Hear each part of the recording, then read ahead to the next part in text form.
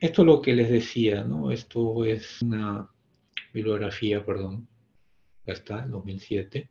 Y esto es la maduración, ¿no? De, de las células de la sangre. No está todo el linaje, digamos, del glóbulo rojo, pero todo viene de la médula ósea y acá se divide, ¿no? Para acá los linfocitos, para acá leucocitos y glóbulos rojos. Y las plaquetas también, ¿no? A raíz del megacariocito. Entonces, todo tiene un origen común. Y los tipos de hemogramas son seis y dependen, muy, dependen de que si son manuales o automatizados. El tipo 1 antiguamente era solo hemoglobina, montocritos, eh, recuento de glóbulos rojos y recuento de leucocitos y el diferencial. Y me acuerdo que los índices eritrocitarios se sacaban con división, ¿no? Dividías creo que el hematocrito entre el número de glóbulos rojos y sacabas los índices. El tipo 2 incluía plaquetas ya, el tipo 3 incluía esto, pero de una manera semiautomática. El tipo 4 ya es con medios electrónicos e incluían el índice de anisocitosis, ¿no? esto está en inglés, y el frotí de sangre. El tipo 5 aparte incluye los índices de plaquetarios. Más o menos esto es el similar ¿no? al índice de anisocitosis en plaquetas. Y este es el volumen plaquetario medio, ¿no? que es un similar al volumen corpuscular medio. Las plaquetas también pueden ser grandes, normales, dependiendo de la patología. Y el tipo 6 es el que incluye y es el que tienen todos los hemogramas automatizados, o sea, los que salen de una máquina nada más, no, involucran nada, nada manual.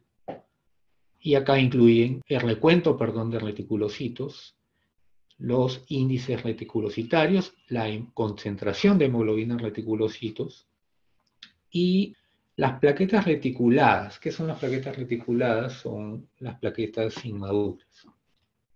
Acá es de la misma bibliografía para que vean todos los parámetros que tiene este hemograma automatizado y no solamente lo que conocemos nosotros, que es esto, primera parte, después esto, y ahí se saltan las plaquetas, ¿no?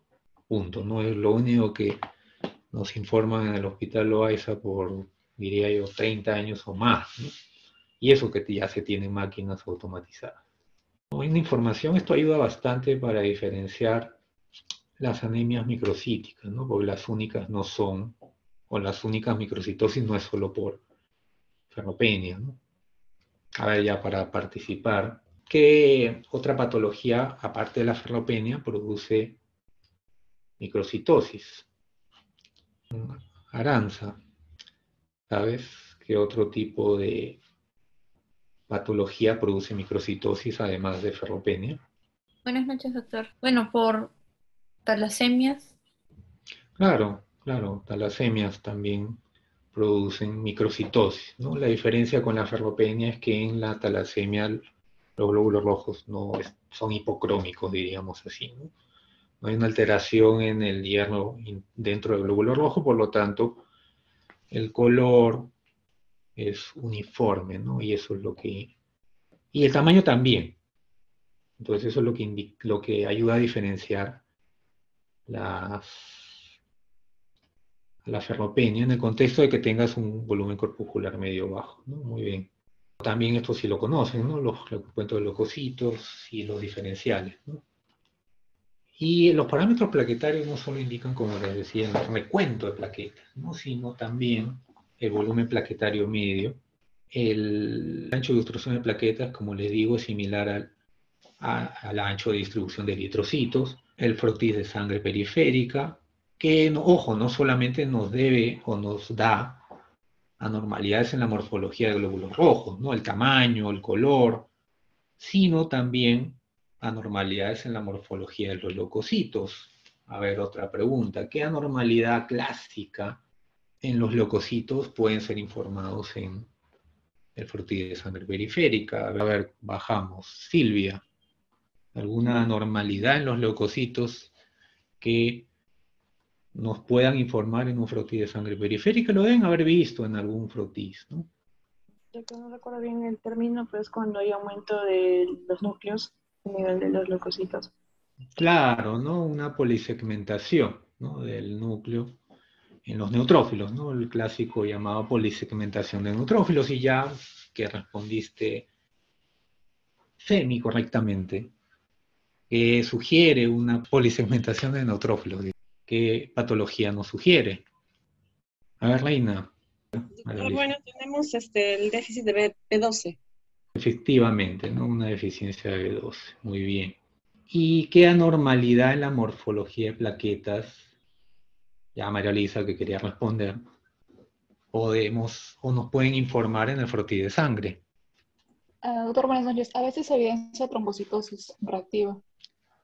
No, pero eso también no pueden dar, no, no, no lo dice el, el, el, cuento, ¿no? O sea, en el ah, estamos hablando de morfología.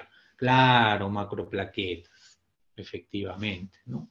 Entonces, toda esa información tiene importancia. ¿no? Y esas macroplaquetas, ya adelantándome, o te lo pregunto para adelantar un poco, o para hacer, digamos, unidad ¿no? con lo que estamos hablando, ¿con qué tendría relación de estos parámetros que estamos hablando?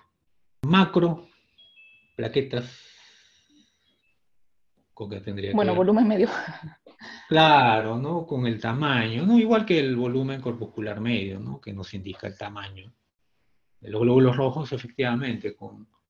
Entonces, si encontramos macroplaquetas en un frotis, o nos informan macroplaquetas en un frotis, es muy probable que el volumen medio plaquetario esté elevado, y viceversa, ¿no? Si es que no tenemos un frotis, pero encontramos o nos informan un volumen plaquetario medio elevado, nos sugeriría o nos indicaría, si es que no tenemos un frotis en ese momento, que muy probablemente el paciente tiene macroplaquetas. Y también para adelantarnos entonces, que indica, ¿qué nos indicarían, qué nos, sugeri, nos sugiere encontrar macroplaquetas en sangre periférica? A Guillermo quiere responder. Mucho, doctor. Eh, bueno, sugeriría que hay un proceso de destrucción de las plaquetas, ¿no? Y podría ir con eh, PTI, por ejemplo. Claro, ¿no? las macroplaquetas son efectivamente ¿no? plaquetas grandes que todavía no se han terminado de segmentar, de, de madurar efectivamente. Entonces sugeriría que la médula está produciendo rápidamente plaquetas en el contexto de una pérdida rápida de plaquetas. ¿no? La clásica patología que observamos eso es una púrpura trombocitopénica, inmune, perdón, un PTI, o cualquier púrpura trombocitopénica. ¿no? También en el PTT podríamos observar eso. Muy bien. Ok, avanzamos. Y estos son los parámetros adicionales, ¿no? Recuento de reticulocitos total, porcentual es el que usamos, el hemoglobina en reticulocitos y las plaquetas reticuladas o inmaduras.